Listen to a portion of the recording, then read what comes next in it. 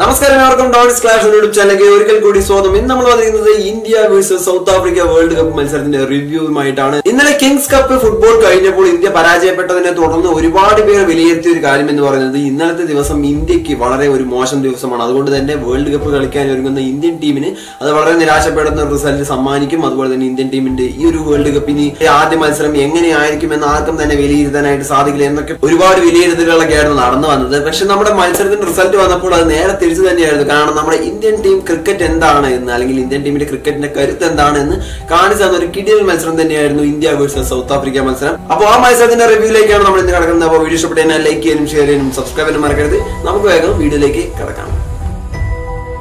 India versus south Africa മത്സരത്തിൽ India ആറ് വിക്കറ്റിന് വിജയിക്കുകയാണ് ചെയ്തത്. ആദ്യ ബാറ്റ് ചെയ്ത സൗത്ത് ആഫ്രിക്ക ഇരുന്നൂറ്റി ഇരുപത്തി ഏഴ് റൺസാണ് വിജയലക്ഷ്യം കുറിച്ചു വരുന്നത്. ഒരു വലിയ കൂറ്റൻ സ്കോർ ഒന്നും അല്ലെങ്കിൽ കൂടി അതൊരു വലിയ സ്കോർ തന്നെയാണ്. ഇതിൽ ഏറ്റവും രസകരമായിട്ടുള്ള കാര്യം എന്ന് പറയുന്നത് ഇന്ത്യൻ ടീം സൗത്ത് ആഫ്രിക്കയുടെ ഒൻപത് വിക്കറ്റുകളും വീഴ്ത്തി എന്നുള്ളതാണ്. അപ്പൊ അത്രത്തോളം മികച്ച ഒരു ബോളിംഗ് നിര തന്നെയായിരുന്നു ഇന്ത്യൻ ടീം അണിനിരത്തിയത്. അപ്പൊ അത്രയും മികച്ച ഒരു പ്രകടനം തന്നെയായിരുന്നു ബോളിംഗിന്റെ ഭാഗത്ത് നിന്നും ഇന്ത്യ ആദ്യം തന്നെ കാഴ്ചവെച്ച് തുടങ്ങിയത്.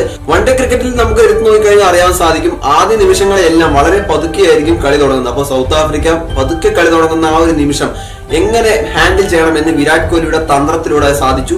അതായത് വിരാട് കോഹ്ലി ആദ്യ രണ്ട് വിക്കറ്റുകൾ വീഴ്ത്താനായിട്ട് സഹായിച്ചത് അദ്ദേഹത്തിന്റെ സ്ലിപ്പിംഗ് തന്ത്രമായിരുന്നു ഹാഷിം ആംലിയും ഡീകോക്കും വീഴുന്നത് സ്ലിപ്പിലൂടെയാണ് ബുംറയ്ക്ക് ബോളിംഗ് ചെയ്യാൻ കൊടുത്തത് തന്നെ ഒരു സ്ലിപ്പ് കിട്ടാൻ വേണ്ടി തന്നെയായിരുന്നു. ആദ്യ ക്യാച്ച് രോഹിത് ശർമ്മ എടുത്തെങ്കിൽ രണ്ടാമത്തെ ക്യാച്ച് വിരാട് കോഹ്ലിയും എടുത്തു. അങ്ങനെ ഒരു സ്ലിപ്പ് ലഭിക്കുവാനുള്ള ഒരു കിടിലൻ പ്ലാൻ തന്നെ അവിടെ വിജയിച്ചു എന്ന് പറയാൻ രണ്ട് വിക്കറ്റുകൾ അങ്ങനെ സ്ലിപ്പിലൂടെ വിജയിക്കുന്നു.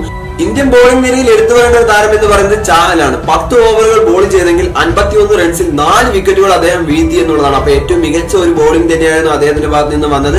ഒരു കിടിലൻ ബോളിംഗ് നിര തന്നെയായിരുന്നു ഇന്ത്യൻ ടീം അണിഞ്ഞത്. അങ്ങനെ സൗത്ത് ആഫ്രിക്ക ഇരുന്നൂറ്റി ഇരുപത്തിയേഴ് റൺസാണ് വിജയലക്ഷ്യം വെച്ചത്. അൻപത് ഓവറും പൂർത്തിയാക്കിയ സൗത്ത് ആഫ്രിക്കയ്ക്ക് നഷ്ടമായത് ഒൻപത് വിക്കറ്റുകളാണ് ആദ്യ നിമിഷങ്ങളിൽ പതറിയ ഇന്ത്യൻ ടീമിനെ പിടിച്ചുയർത്താൻ രോഹിത് ശർമ്മയ്ക്ക് കഴിഞ്ഞുള്ളൂ. പന്ത്രണ്ട് പന്ത് ഫേസ് ചെയ്ത ശിഖർ ധവാൻ വെറും എട്ട് റൺസിൽ പുറത്തായതോടെ ഇന്ത്യയുടെ ഒരു കോൺഫിഡൻസ് ചെറിയ രീതിയിൽ നഷ്ടമായെങ്കിലും അത് വിരാട് കോഹ്ലി ഇറങ്ങുന്നതോടുകൂടി കുറച്ചുകൂടെ കോൺഫിഡൻസ് വന്നു. എന്നാൽ പതിനെട്ട് റൺസ് എടുത്ത വിരാട് കോഹ്ലിയുടെ ക്യാച്ച് ഡീകോക്ക് അങ്ങനെ ചാടി പിടിച്ചപ്പോൾ തന്നെ എല്ലാവരുടെയും പ്രതീക്ഷ നഷ്ടമായി. കാരണം വിരാട് കോഹ്ലി കൂടെ പുറത്താവുമ്പോൾ നമുക്ക് ഇനി എങ്ങനെ ഇതൊന്ന് തിരിച്ചു കൊണ്ടുവരാനായിട്ട് സാധിക്കുമെന്നുള്ള ഒരു പ്രതീക്ഷയിലായിരുന്നു.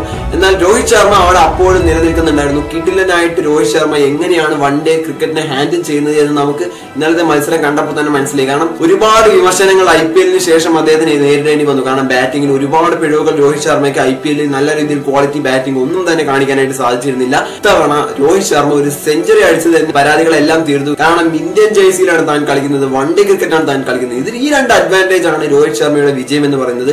വൺ ഡേ ക്രിക്കറ്റിലാണെങ്കിൽ രോഹിത് ശർമ്മ വളരെ പതുക്കെ വളരെ പീസ്ഫുൾ ആയിട്ട് മികച്ച റൺസ് എടുക്കാൻ സാധിക്കുന്ന ഒരു ഹിറ്റ്മാൻ തന്നെയാണ് രോഹിത് ശർമ്മ. ആ ഒരു ക്വാളിറ്റി തന്നെയാണ് അദ്ദേഹത്തിന്റെ വിജയവും. രോഹിത് ശർമ്മ നേടിയ നൂറ്റി ഇരുപത്തിരണ്ട് റൺസ് ആണ് ഇന്ത്യൻ ടീമിന് ഏറ്റവും കൂടുതൽ ഉപകാരപ്രദമായത്. അവസാന നിമിഷം വരെയും രോഹിത് ശർമ്മ ഔട്ട് ആവാതെ തന്നെ നിന്നു എന്നുള്ളത് നമുക്ക് അതിൽ എടുത്തു പറയേണ്ട ഒരു കാര്യം തന്നെയാണ്. രോഹിത് ശർമ്മയെ സപ്പോർട്ട് ചെയ്യാനായിട്ട് കെ എൽ രാഹുൽ ഇറങ്ങിയെങ്കിൽ കൂടി ഇരുപത്തിയാറ് റൺസിൽ അദ്ദേഹം ഒരു ലേസി ആയിട്ടുള്ള ഒരു മൂവ്മെന്റിൽ ക്യാച്ച് കൊടുത്ത് ഔട്ടായി പോയി. എന്നാൽ അവിടെ നിന്നും ഏറ്റവും കൂടുതൽ പ്രതീക്ഷ അർപ്പിക്കുന്ന മറ്റൊരു താരം അതായത് നമ്മുടെ മുൻ ക്യാപ്റ്റൻ എം എസ് ധോണി കളത്തിലേക്ക് ഇറങ്ങുകയാണ്. എം എസ് ധോണി കളത്തിലേക്ക് ഇറങ്ങുമ്പോൾ പിന്നെ ഒന്നും നോക്കാനില്ല. കിടിലൻ മത്സരം നമുക്ക് അവിടെ കാണാനായിട്ട് സാധിക്കും എന്നുള്ളത് ഉറപ്പായിരുന്നു. എം എസ് ധോണി കളത്തിൽ ഇറങ്ങിയ ശേഷം രണ്ട് ബൗണ്ടറി ഉൾപ്പെടെ നാൽപ്പത്തിയാറ് പന്തിൽ മുപ്പത്തിനാല് റൺസ് എം എസ് ധോണിക്ക് എടുക്കാനായിട്ട് സാധിച്ചു. രോഹിത് ശർമ്മയ്ക്ക് നേരെ ഒരു ബൗൺസർ വന്നു. അത് അദ്ദേഹം അടിച്ചെങ്കിലും വളരെ മുകളിലേക്ക് പോയി. പക്ഷെ അതൊരു ക്യാച്ചിലേക്കായിരുന്നു കലാശിച്ചത്. എന്നാൽ സൗത്ത് ആഫ്രിക്കൻ താരം ആ ക്യാച്ച് മിസ്സാക്കിയതോടുകൂടി ഇന്ത്യയുടെ പ്രതീക്ഷകൾ കൂടുതൽ ഉയർന്നു എന്നുള്ളതാണ്. എന്നാൽ അടുത്ത നിമിഷം ക്രിസ്മോസിന്റെ പന്ത് ധോണിക്ക് ഒരു ബൗൺസർ വരികയും അത് കൃത്യമായി അടിച്ചുയർത്തിയ പന്തിനെ ക്രിസ്മോറിസ് തന്നെ ക്യാച്ച് പിടിച്ച് ധോണിയെ ഔട്ടാക്കുന്നു ധോണിയോട് ഔട്ടായപ്പോൾ നമുക്കൊരു ചെറിയ ഒരു പ്രശ്നമുണ്ടായിരുന്നു. പക്ഷെ അപ്പോഴേക്കും ഇന്ത്യൻ ടീം വിജയം ഉറപ്പിച്ചിട്ടുണ്ടായിരുന്നു. കാരണം അത്ര ഒരു കൂറ്റ സ്കോറിൽ തന്നെ നമ്മുടെ ഇന്ത്യൻ ടീം എത്തിയിട്ടുണ്ടായിരുന്നു. അതിനുശേഷം ഇറങ്ങിയത് മറ്റാരുമല്ല ഹാർദിക് പാണ്ഡ്യയാണ്. പിന്നെ നമുക്കൊന്നും നോക്കാനില്ല. ഹാർദിക് പാണ്ഡ്യ വെറും ഏഴ് പന്തായിരുന്നു ഫേസ് ചെയ്തത്. അതിൽ മൂന്ന് ബൗണ്ടറികൾ അദ്ദേഹം നേടി. അതോടുകൂടി നമ്മുടെ ഇന്ത്യൻ ടീം കൃത്യമായിട്ടുള്ള വിജയം ഉറപ്പിച്ചു കഴിഞ്ഞു. അങ്ങനെ ഇന്ത്യ വേഴ്സസ് സൗത്ത് ആഫ്രിക്ക മത്സരത്തിന്റെ ആദ്യഘട്ടം കഴിഞ്ഞിരിക്കുകയാണ്. ആദ്യ വേൾഡ് കപ്പിലെ അരങ്ങേറ്റ മത്സരത്തിൽ തന്നെ ഇന്ത്യ വിജയിച്ചിരിക്കുകയാണ്. ഇനി ഇന്ത്യയുടെ എതിരാളികൾ ഓസ്ട്രേലിയയാണ്. ഒൻപതാം തീയതി ഞായറാഴ്ച നടക്കുന്ന ഇന്ത്യ വേഴ്സസ് ഓസ്ട്രേലിയ മത്സരത്തിന് വേണ്ടിയിട്ടാണ് ആരാധകർ വെയിറ്റ് ചെയ്തിരിക്കുന്നത്. അപ്പൊ എന്റെ റിവ്യൂ നിങ്ങൾക്ക് ഇഷ്ടമായത് വിചാരിക്കും ഇഷ്ടപ്പെട്ട് കഴിഞ്ഞാൽ ലൈക്ക് ചെയ്യാനും ഷെയർ ചെയ്യാനും സബ്സ്ക്രൈബ് ചെയ്യാനും മറക്കരുത്. മറ്റൊരു മറ്റു മാസമായി മറ്റാറുമായി കണ്ടുമുട്ടുന്നവരേക്കും